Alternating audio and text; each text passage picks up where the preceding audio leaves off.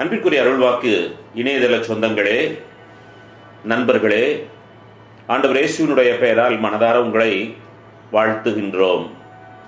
பிப்ரவரி திங்கள் இருபத்தி மூன்றாம் நாள் புனித போலிகார் திருநாளை கொண்டாட திரு அவை நமக்கு அழைப்பு தருகிறது. நிகழ்வு ஒன்று சொல்லுகிறது போலிகார் வாழ்ந்த காலத்திலே தப்பறை கொள்கைகள் அதிகமாக பரவி இருந்தது அவற்றையெல்லாம் நம்முடைய புனிதர் மிகவும் துணிவோடு எதிர்கொண்டு வெற்றி கொண்டார்.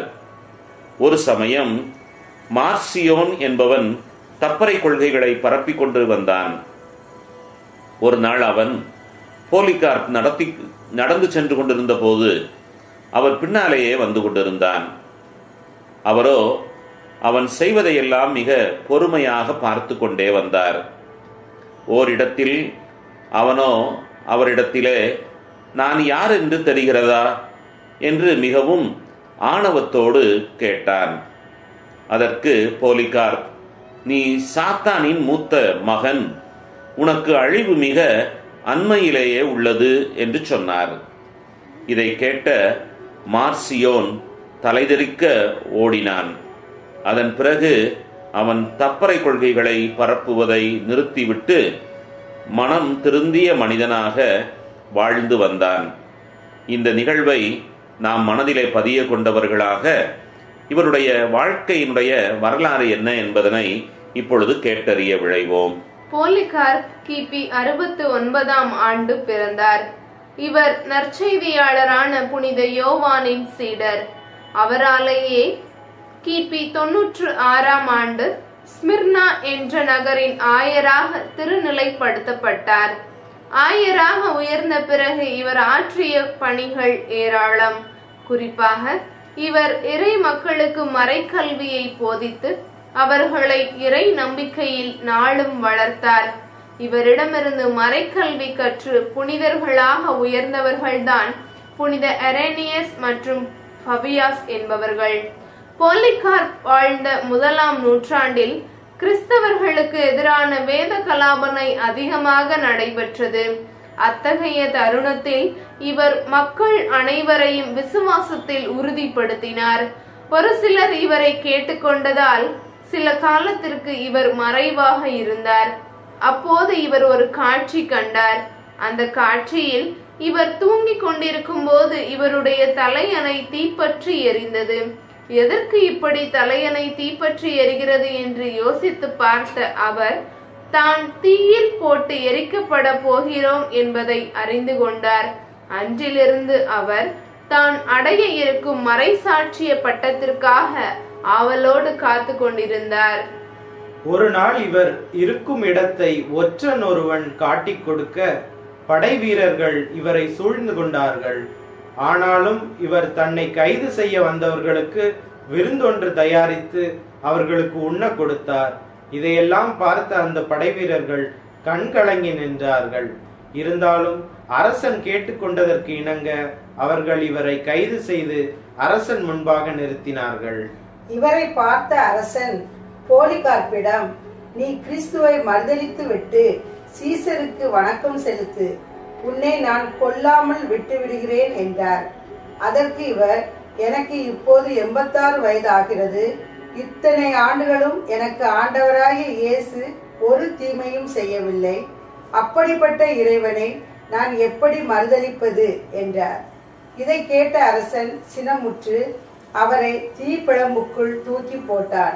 ஆனால் தீயின் நாவுகள் அவரை ஒன்றும் செய்யவில்லை. அவர் அத்- அந்த தீயின் நடுவே இறைவனை பாடி புகழ்ந்து கொண்டிருந்தார். பின்னர் அரசர் அவரை ஈட்டியால் குத்தி கொன்றான் பின்னர் போலிகார்பின் சீடர்கள் வந்து அவருடைய எலும்புகளை எடுத்துக்கொண்டு போய் அடக்கம் செய்தார்கள். அவர் மறைசாட்சியாக தன்னுடைய உயிரை துறந்த ஆண்டு கிபி நூற்றி ஐம்பத்தி ஐந்து. போலிகார்பின் மரசாட்சிய வாழ்வு குறித்து அவருடைய இறப்புக்கு பிறகு அவருடைய சீடர்களால் எழுதப்பட்ட ஆக்ட்ஸ் ஆஃப் போலிகார்ப் என்ற புத்தகத்திலிருந்து நாம் இவற்றையெல்லாம் வாசிக்கின்றோம். கிறிஸ்துவுக்காக கிறிஸ்து கிறிஸ்தவ மறைக்காக தன்னுடைய இன்னுயிரை துறந்த தூய போலிகார்ப்பினுடைய விழாவை கொண்டாடுகின்ற இந்த நாளினிலே நாம் அவரிடமிருந்து கற்றுக்கொள்ள வேண்டிய பாடம் என்ன என்பதனை இப்பொழுது நாம் கேட்டறிய விழைவோம். சாட்சிய வாழ்வு. தூய போலிகார் கிறிஸ்துவுக்காக தன்னுடைய இன்னுயிரை துறந்தவர்களில் முன்னோடி என்று சொன்னால் அது மிகையாகாது.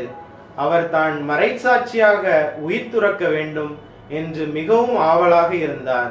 அதற்காக அவர் ஒவ்வொரு நாளும் காத்து கொண்டிருந்தார். ஒரு சமயம் அந்தியோக்கு நகர் இஞ்ஞாசியாரின் இறந்த உடலை முத்தி செய்துவிட்டு இத்தகைய பேற்றினை நான் அடையப் போகும் நாள் என்னாலோ என்று மிகவும் ஏக்கத்தோடு சொன்னார். கிறிஸ்தவர்களாகிய நாம் கிறிஸ்துவுக்காக எல்லாவற்றையும் ஏன் நம்முடைய உயிரையும் கூட இழக்க துணிகிறோமா என சிந்தித்து பார்க்க வேண்டும். புனித பவுல் பிலிப்பியருக்கு எழுதிய திருமுகம் அதிகாரம் ஒன்று இறை வார்த்தை இருபத்தி ஒன்றில் கூறுவார் நான் வாழ்ந்தால் அது கிறிஸ்துவுக்காகவே. நான் இறந்தால் அது எனக்கு ஆதாயமே. நாம் கிறிஸ்துவுக்காக வாழ்கிறோமா? அவருக்காக நம்முடைய உயிரையும் தர முன்வருகிறோமா? என சிந்தித்து பார்ப்பது மிகவும் பொருத்தமானதாகும். புனித போலிக்கார் கிறிஸ்துவுக்காக வாழ்ந்தார் இறந்தார். அதனால் அவர் கிறிஸ்துவிடமிருந்து ஆசீரை பெற்றார். நாமும் கிறிஸ்துவுக்காக வாழும்போது அவரிடமிருந்து எல்லா ஆசிரையும் பெறுவோம் என்பது உறுதி. இந்த கருத்தை கற்றுக்கொள்ளுகின்ற அதே வேளையிலே மற்றொரு நல்ல அற்புதமான பாடமாக நாம் அறிய வேண்டியது தீமை செய்வோருக்கு நன்மை செய்ய முன்வர வேண்டும் என்கின்ற பாடத்தையும் இவருடைய வாழ்விலிருந்து நாம் கற்றுக்கொள்ள வேண்டும். புனித போலிகார்ப் தனக்கு தீமை செய்தோருக்கும் நன்மை செய்த நல்ல உள்ளம் என்று சொன்னால் அதுவோ மிகையாகாது.